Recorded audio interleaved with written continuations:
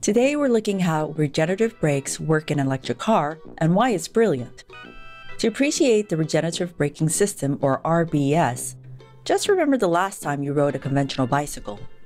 You pedal to get yourself going, you build up kinetic energy, but each time you brake and come to a stop, you lose all the momentum you gained. That's because when the brake rubber pads clamp on the wheel, it causes friction. The friction converts the kinetic energy into heat, which disappears into the air. So all that energy gets wasted. And to get going, you have to start pedaling again and build up kinetic energy from scratch.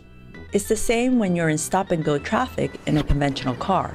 Your car wastes a lot of energy because it takes a lot of power to get the car moving. Each time you hit your brakes, all the kinetic energy your car gained gets wasted in the brake pads as heat. And that's where the brilliance of regenerative braking in the electrical vehicle comes in. Rather than allowing the kinetic energy you built up to go to waste, a regenerative brake, in essence, puts the energy to the side so that you can use the energy again at a later time. So, how does it store energy? Put simply, it converts kinetic energy into electricity, which then gets stored in the battery. This is brilliant because electricity is a very high grade of energy that can be easily changed into many other forms. Heat, on the other hand, is low grade energy that's harder to reuse in other ways. So, how does RBS work? Before we get to that, thanks so much for your positive comments on my previous videos. That said, YouTube stats for my channel show that 90% of viewers watch but forget to subscribe. So, if you like my content, please feel free to subscribe. Your support helps me to continue producing more educational content like this. Thanks again for your support. And now, how does RBS work? When you're driving your EV, energy flows from the battery to the motor. This turns the wheels and provides the kinetic energy so that the car can move. But when you hit the brakes, the entire process goes into reverse.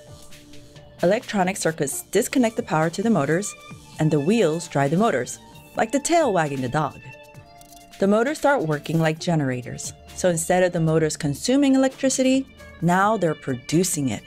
Power flows back from the motors to recharge the main battery pack which in turn extends your car's driving range between charges. And that's how regenerative brakes allow you to recapture much of the braking energy you'd otherwise lose. But it's not 100%. That's because it takes time for regenerative brakes to slow down a car. That's the reason why most EVs also have conventional hydraulic brakes that work alongside the regenerative brakes. And that's a good thing, in case the regenerative brakes were to fail. Since the RBS helps slow down the car, this means less wear and tear on your conventional brakes. Regeneration occurs when you apply the brake pedal, but it also occurs when you release the accelerator pedal and your car is coasting. Some cars even have an automatic cruise control system that uses regenerative brakes to adjust your car's speed on the road as needed.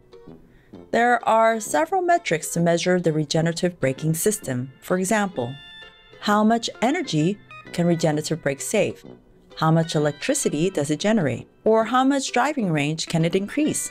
In general, some 60 to 70% of kinetic energy that would otherwise be lost during braking can be recaptured and stored for future use. It all depends on various factors like the car you have, your car's speed, how long you apply the brakes, and the level of braking force. Also, the heavier and faster the car is, the more kinetic energy you can build up, so you have a lot more energy to potentially recapture and save. For example, a modern electric train is very large and heavy and can achieve super high speeds.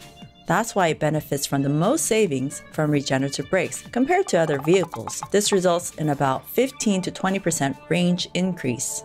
A large delivery truck is obviously smaller than an electric train, but is still heavier and faster than a passenger EV its average range increase can be about 12%. A typical passenger electric or hybrid car's range can increase by an average of 10%, depending on the car and whether you're driving in the city or the highway. An electric bike is much smaller, lighter, and slower in comparison, so logically its energy savings are less optimistic. Its range increase is minimal, in the low single digits. That's why most electric bikes don't come with regenerative brakes. If you ever see an advertisement for a new electric bike with regenerative brakes, it's more a marketing ploy than a valuable feature. In reality, you'll be paying more for brakes that'll give you very little benefit, or even work against you by consuming more energy rather than saving. That's because regenerative brakes work optimally when the electric motor is always engaged, whether as a motor or a generator. That's why it's beneficial for an EV. But people's behavior on an electric bike is different. An average cyclist engages his motor only part of the time and happily just coasts for the rest. So there's not much energy you generate and therefore not much to salvage. What if you engage your bike motor all the time? Well, the problem is that kinetic energy output is still relatively low compared to the total energy you'd consume if you were to engage the motor permanently. In other words, you won't save any energy at all, but rather consume more energy. Some EVs allow the drivers to select how much regenerative braking to use. Typically, in those cars, you just move the gear shift lever while slowing down. This function is usually called one pedal driving. It requires practice. But once you get the hang of it, you can get through heavy traffic by just using the throttle. You simply accelerate through to move ahead as needed. When you need to make a stop, you just let go of the throttle and let the regenerative brakes bring the car to a stop. This is the electromagnetic regenerative braking system. It's the most commonly used type of RBS today.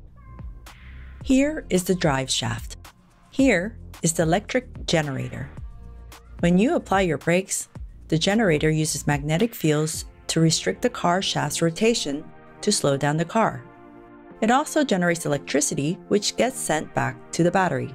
There are other different types of regenerative braking systems. Each differ by method of energy conversion and storage. Regenerative braking is more valuable for electric cars, hybrids, and larger vehicles, rather than small personal vehicles like electric bikes or scooters.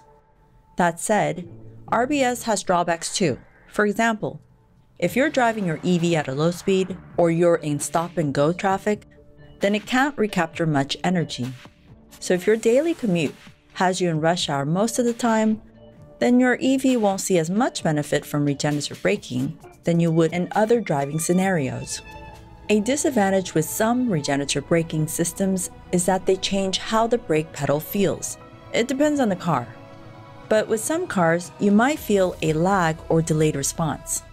Some others find it challenging to modulate for smoother braking. But newer systems are performing better, and they're getting more natural in feeling. Well, there you have it. If you like this video, please like and subscribe. Thanks for your support, and see you next time.